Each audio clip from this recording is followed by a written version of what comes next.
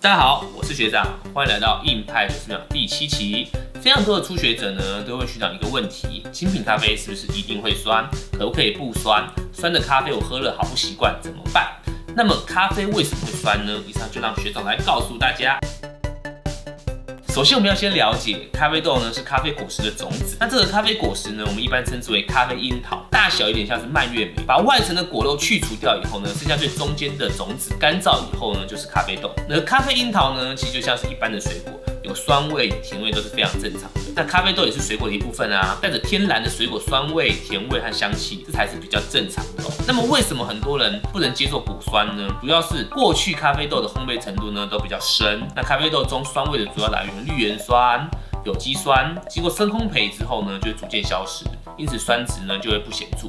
那久而久之呢，这种深烘焙的咖啡喝多了。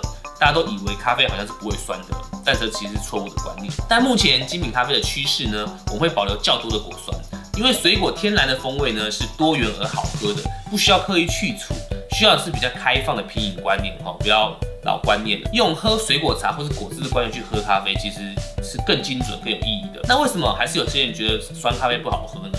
那需要个人经验是，可能是在烘焙或者冲煮过程之中，没有将咖啡豆中的甜味做足。才会显得酸味很刺激。那大家可以想象一下，蜜饯酸甜甜的就很好吃。但如果只有死酸的蜜饯，那可能大家都不爱吃。那咖啡呢，其实也是类似的观念哈。果酸会使风味活泼有趣，但要搭配足量的甜感才会好喝宜人。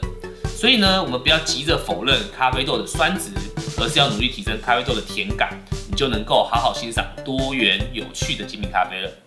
以上呢就是徐阳对于咖啡松的诠释，任何问题欢迎在下面留言，徐阳会一一回答。也邀请大家订阅徐阳 YouTube 频道，并按下小铃铛，我们每天都更新更多咖啡新知哦。以上就是今天的硬派九十秒内容，我们下次见，拜拜。